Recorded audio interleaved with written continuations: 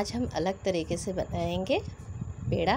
तो देखिए, हमने एक बाउल घी ले लिया है और डेढ़ बाउल के करीब में हमने मैदा लिया है।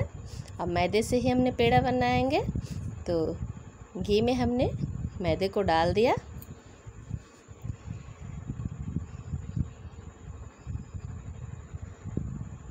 अब हम इसको बराबर चलाते रहेंगे। देखिए, इस तरीके से हम चलाएँगे। देखिए, घी में मैदा लगभग बराबर मिल चुका है। अब ये हमारा पेड़ा रेडी हो चुका है। अब हम गैस को करते हैं बंद। ठंडा होने के बाद हम चीनी, और ये पिसी हुई चीनी है।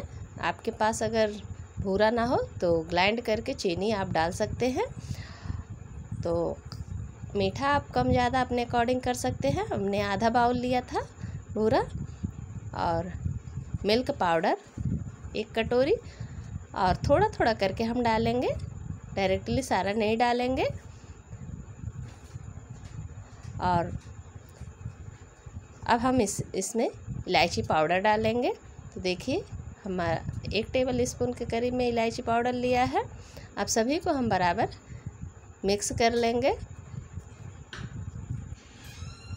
तो इस तरीके से हम सभी को मिला लेंगे।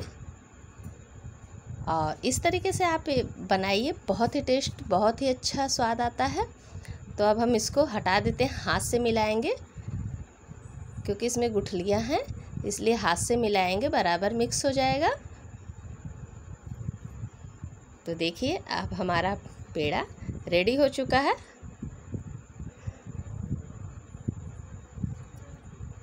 अब हम इसके छोटे छोटे बॉल्स बनाएँगे।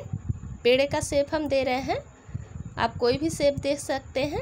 तो देखिए, हमने पेड़े का शेप दे रखा है। तो ये हमारा पेड़ा रेडी हो चुका है। एक एक करके सभी पीसेस हम रेडी कर लिए। तो अब हम कुछ सूखे मेवे लेंगे। काजू, बादाम, आपके पास जो भी मे, सूखे मेवे अवेलेबल हो आप ले सकते हैं। छोटा छोटा पीसेस करके ऊपर गार्निश के लिए हम सेट कर देंगे। तो देखिए, हमने सेट कर रखा है बादाम और काजू। तो दोस्तों, मेरे द्वारा बताई गई ये मैदे की रेसिपी कैसी लगी? यदि अच्छी लगी हो तो प्लीज़ वीडियो को लाइक सब्सक्राइब बेल आइकन दबाना ना भूलें। तो मिलते हैं अगली वीडियो में नई रेसिपी के साथ। तब तक के लिए बाय बाय